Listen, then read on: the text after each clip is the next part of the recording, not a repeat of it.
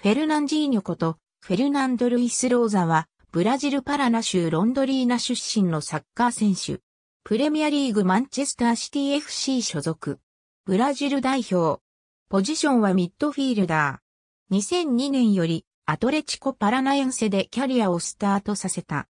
2004シーズンにはワシントンなどと共に活躍した。2005年、ウクライナの FC シャフタールドネツクに5年契約で移籍した。7月30日、クリブバスクリビーリフ戦でリーグデビューを果たした。シーズンの終わりまでに23試合に出場し、リーグタイトル獲得に貢献した。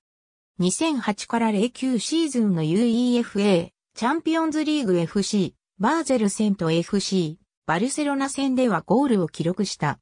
2013年6月6日、イングランドプレミアリーグのマンチェスターシティ FC に4年契約での移籍が決定。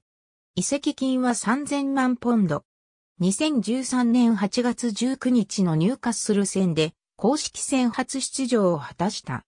2016から17シーズンにジョゼップ・グアルディオラが監督に就任すると戦術理解度の高さを見込まれ、パスの供給役として不動の存在となった。2018年1月19日、マンチェスターシティとの契約を2020年まで延長した。